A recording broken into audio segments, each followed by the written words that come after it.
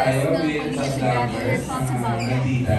Ah, unang-una, um, napakalaki ng pasalamat ko sa audience natin kasi again, as we all know, this story talaga sobrang impactful. Sobrang relevant po sa ating society, lalo na dito sa Pilipinas kasi ah, lahat po ng sinasabi namin at pinapakita namin is very accurate talaga sa ating um, um, societal atmosphere. So, I'm very thankful for the audience and uh, very thankful to the production team, uh, co-actors, co-artists. And I would say, um, ABS-CBN of course, I'm just very thankful for that. Parang mas comfortable with Filipino. What, what, mga skills mo ginawa mo? Ano yung mga ginawa mo para maging magaling sa Tagalog? Um, I think ano lang po yung, I, kasi lahat naman po ng lingwahe, I think it's just the environment talaga um, and um, awareness. So I, I think more on mga Pinoy films kasi I'm a big fan of films in general. So parang nung mas na ano talaga ako, na-inlove din ako sa mga pelikulang Pinoy. Uh, I just watched uh, Kuya Pios Mayari, tapos um, Gumburza. Yung Gumburza, grabing Pinoy, and of course, uh, General Luna. I think yung ano talaga, yung awareness lang talaga, saka yung adaptation ng palagi mo nakikita, palagi mo naririnig, yun yung number one po talaga sa akin. Grabe. Hindi ka naman nag-dueling. no? Hindi naman, hindi naman. Akala ko nag-dueling. Pressure ka ba? Ito sa role mo ito. Pressure ka ba? Um, of course, with every role naman po kasi I think it's a pressure of the sense of responsibility. Kasi lahat talaga, of course, this is an opportunity na hindi po lahat nabibigyan.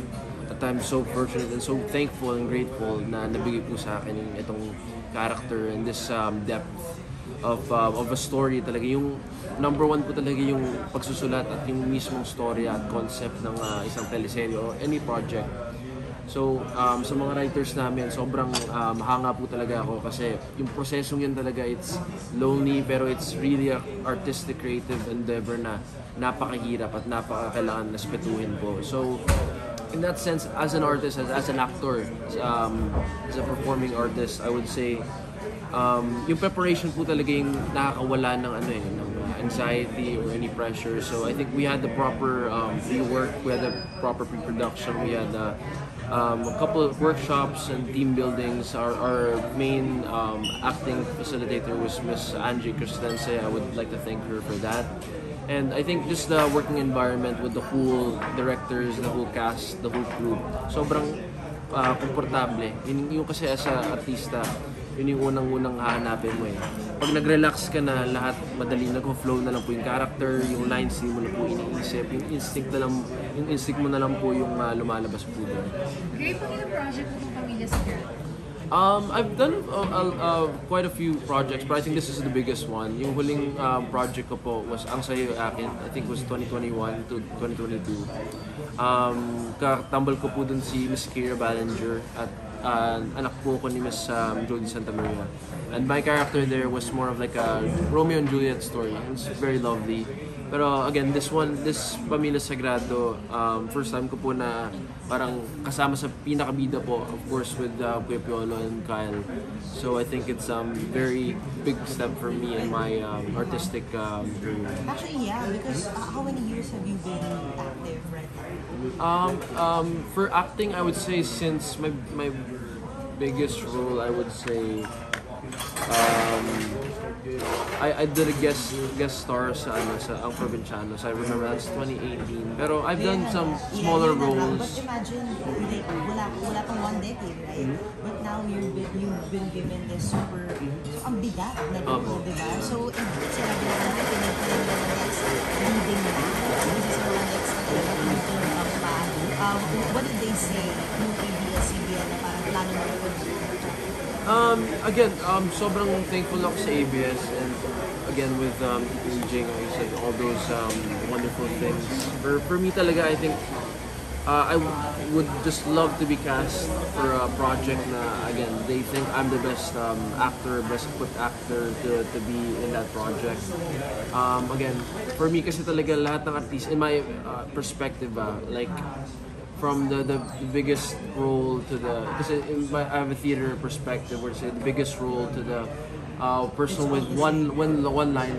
Lahat kami dito artist lang. Even the crew and the the staff and anyone who's in the creative field talaga on an equal playing field in my opinion. So I respect every single one. And uh, every role again, every role counts because it's not about the actors, not even about the stars. It's about the story and the message we're trying to prepare, uh, portray to an audience. Honestly, uh, talking to you, we forget na nepo baby ka. Charot, di ba? Ano artist lang. How do you take that when, when people say, oh, anak kasi ni Mark Anthony yan. But no, parang you climbed your way, right, to where you are right now. Di ba? Um, in, in that sense, po, I think, of course, um, with um, my particular um, background and my particular situation, of course, it's uh, opened a lot of doors, and I can't uh, deny that, of course. And of course, awareness of who I, my, um, my last name is, and this and that. But I, I would say, for me, in in my journey, as you said nga po, parang I always le- lean to who Gray Fernandez is, kung sino ako. Hinahanap, like, mas bata pa nga po, parang hin- hinahanap mo pa, uh, with, ev- with anyone in, of, um, in life naman, you're still looking for who you truly are. So I think now that I'm 22, I'm more matured, parang mas may, mas madami na po akong perspectives, mas madami na po akong ideas, and I have a lot to say now. And I think that's what I have to bring. Uh, that's what I have to bring on a table. It's it's me talaga and what I believe in. Do you try to veer away na parang anak artista, be on your own? Um, not necessarily. I just again be as authentic as possible as I as I can, and um, if it, if that is what I'm doing, and again what I'm honestly trying to do, um, being as honest I, as I possibly can. Kung nag-veer po siya, it's not um, pre-planned, not pre-planned, not um, premeditated. Ano lang siya. It's just on the same path of what I'm um, being as genuine, uh, gray as I can. How's your dad with all this? Like, kamusta siya? Um, nasabihan ka ba niya na congratulations? Yeah, yeah. Sa, sa set po sa Baguio, he visited me for a couple of times. He, he was there for Father's Day. So I'm very thankful for him in that. Again, he's a very um, um, supportive person. Even even when I went to New York, he's very supportive. Hindi siya nakikialam sa career ko and he just gives me tips and um, and again, he he honestly just wants the best for me and he wants me to be my own um, um, man. So Ano pinaka, ano pinaka important tip na binigay sa'yo ng dad? I know your dad has been in the industry for the longest and now you're starting then dito. Ano yung tip na binigay niya sa'yo that, you know, just be brave, be fearless, be bold. You know, you have to really go for what you believe and fight for it till till the end talaga. And um, whatever my perspective is, again, kung nasa tama naman talaga ako, ipaglalaban ko po yan. Especially, again, in an acting, in an acting sense, creative sense, we're, we're lawyers of, for our char- characters and we're lawyers um, for what we believe the character should go and what he should do, be doing. So, pag may creative input ka na, like, uh, your other co-artists are disagreeing, you still have to present your case na, oh, this is why I think na ito yung dapat gawin ni Justin or ito dapat yung reaction ko or ito yung dapat na move na gawin ko in a sense. So just have, really be um, fearless for what what do you think um, and what do you believe in. Di ba mga artista na ayaw nila katrabaho yung parents nila Mm-hmm. sila or baka ayaw lang nila talaga medyo awkward. Ikaw Yeah. ba gusto mo makatrabaho yung dad mo? again uh, it's again so i look at it as um, um, if, if there's a role that's suited for him and a role suited for me and if the story fits both of our, our like again our natural um, inclinations as, as an artist and as an actor I would definitely love to, to do that um, if, if that role in that project and that material comes comes How about. about, how about your grandma? Diba? Kasi they, have colorful careers. No and they need, does she, does she say anything now that you're, you're so active in your prime time? And they- Um, she's su- my grand, si Mama Ness, Mama LT, uh, they're so proud of me, um, especially for this project because yun nga, they, they've seen my uh, growth as an actor. Of course, pagbaguhan po ka- any with any um, newbie actor like a couple years ago, syempre, it's very awkward, very unnatural. Whereas now, I, I would say I'm having more fun and just again having um, more um, presence and showing who Gray is ag- again. Because uh, I think, again, it comes with maturity.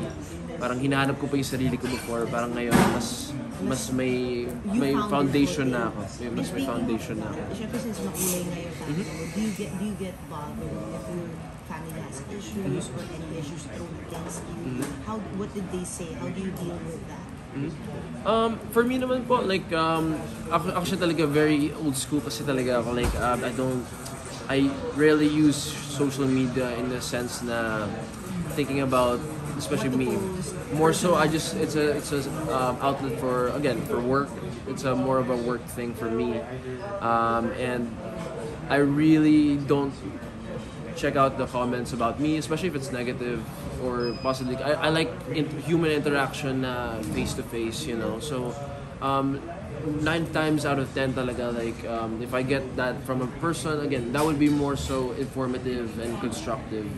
So I, I again, I only use social media uh, for the for the good. Of course, it's it's we're in the age of information. Lahat po ng uh, impormasyon ng mundo, ang dami po natin matutunan sa Google, sa internet na doon dapat doon dapat po natin hinahakot yung resources of of, of, of social media for technology of the 21st century. Um, kasi I have stories from my, you know, grandparents or like mga titos lang na parang if you wanted to know something, you had to go to a library, kailangan mo talaga i-search. It's a, it's a, it's a process, it's a time. We're living in a time na andito lang po, in, a, in, the, in, a, in the palm of our hands, literally, na ang dami mong pwedeng gawin sa, ano natin, sa technology natin. So, ano, sa first question obviously medyo mas close yung relationship ni Kyle to ni Goes along you? Any discoveries or? Opo, I think again like any relationship is built uh, built out of time talaga and just the um, um, investment of time and the presence of one with um, with the other person. So of course, naturally um, yung yung relationship po naming tatlo from the start, as you said, from from now is so different. It's it's um, delved in so many more different levels and um, complexities. And um, again, these are now like my brothers for life. So I'm very thankful for that. Is there anything you can share off camera na people don't see that side of them? na share things? I think I don't know if they know they have wonderful senses of humor. Talaga, sobrang ang ganda ng sense of humor nila. Sobrang um, witty. I don't I, I don't think that that um, comes out of your public pers- uh, public sphere as much. Pero I think their sense of humor is really funny. Dre, what's next for you? Because I heard tapos na rin kayo mag-shoot ng Yeah. Media. What's next for you? Um, I'm, I'm flying back on Tuesday. I'm going back to New York to uh, finish my acting school. So uh, I'll be there. So let's say maybe mid-year next year, just to finish it out. And uh, You're gonna be there for one year? um, for uh, one school year. So I'll be back, or uh, I have no definite plans. But even when they pitched me with a project, because I was coming from New York, and um, I got the pitch when I was um, in summer vacation. Uh, Miss Kylie of Dreamscape was the first one to reach out, and I told them I'm already set and um, set and uh, bound to do the second year just to complete school. So I have to ask school first if I can for, defer for a year, and uh, school said yes. So thankfully, school again? uh, Stella Adler, it's uh, acting school. Yeah, yeah. Meron ka And, mga uh, nakasama na din ng mga celebrities? Or you also students din doon, mga celebrities? Um, I think the most prominent alumni from, from the school right now is uh, Maya Hawk. She was in Inside Out this year. Do have time for dating since you're so busy? Ah, more but on na lang so po, just focus on ano lang, focus on work and family. Work and family. Alright, thank you! so we we won't see you next year ka pa namin makikita. Yes. Grade 1 po to lang Eh, please. wait lang. Ba't kumusta ka work si Coco? Oh, he's like, sobrang intense to Kuya Coco. I, I love him and um, the stories he would say again, his, his whole career, his whole life talaga. It's, a, it's an amazing, um, ano talaga, amazing opportunity to work with such a passionate guy. Saka makikita, sabi na sa akin, sabi po sa akin ni Coco Martin na sobra, ah, madami pong um, artistang magagaling at ah, hanga po siya. Pero masasabi po ni Coco Martin na siya ang pinaka masipag na artista. Of course, he's a producer, he's a director, napakatalinong tao, napakatalinong artista. And I would, uh, again, I, I completely agree. Strict ba siya? Nakakatakot? No, no, no, he's very collaborative po. He's super collaborative talaga. Pag may ano lang talaga, more on the strictness would be on the technicalities of the action scenes, the physicality.